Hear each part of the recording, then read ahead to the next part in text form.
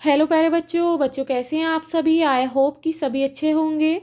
बच्चों, आज की इस वीडियो में हम कक्षा एक के विषय हिंदी के सप्ताह अट्ठाईस की वर्कशीट को सॉल्व करेंगे, जो कि ईडीएमसी के द्वारा दी गई है। बच्चों, आपकी इस वर्कशीट का टॉपिक है, छोटी का कमाल। तो वीडियो को शुरू करने से पहले आप हमारे चैनल को सब्सक्राइब कर लें, ताकि आपको आने वाले वीडियोज़ के नोटिफिकेशन मिलते रहें। तो शुरू करते हैं।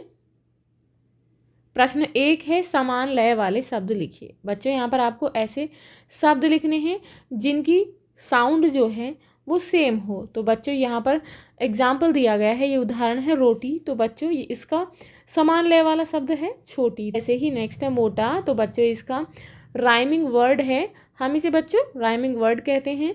तो इसका राइमिंग वर्ड है लोटा। आलू का क्या होगा? भालू। कितनी का? जितनी। अब है प्रश्न नंबर दो, निम्नलिखित प्रश्नों के उत्तर लिखिए। प्रश्न है, कौन बहुत अकड़ते थे? तो बच्चों, आंसर है, समर सिंह बहुत अकड़ते थे। नेक्स्ट है, पतली दुबली कौन थी? तो बच्चों, कौन थी? पतली दुबली छोटी थी। नेक्स्ट है, समर सिंह के क्या ठिकाने आ गए? तो बच्चों, आंसर है, समर सिंह के होश ठिकाने आ गए।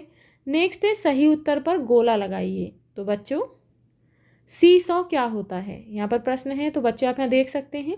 ये क्या है? सी सौ झूला है। तो बच्चे यहाँ पर ऑप्शन है झूला या रस्सी।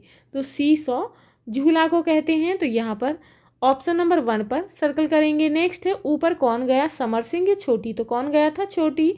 तो बच्चों, आप सेकंड ऑप्शन पर सर्कल करेंगे। नेक्स्ट है, आलू पराठा जैसा कौन था? समर सिंह या छोटी? तो कौन था बच्चों? समर सिंह। फ़र्स्ट पर सर्कल करेंगे। अब बच्चे हैं चित्र में आप देख सकते हैं कौन सा झूला है। ये सीसो का झूला है, जिस पर बैठकर झूलते हैं। बच्चों, यदि आपको ये वीडियो अच्छी लगी हो तो लाइक शेयर करना ना भूलें और यदि आप इस चैनल पर नए हैं तो प्लीज़ चैनल को सब्सक्राइब करें। Thank you.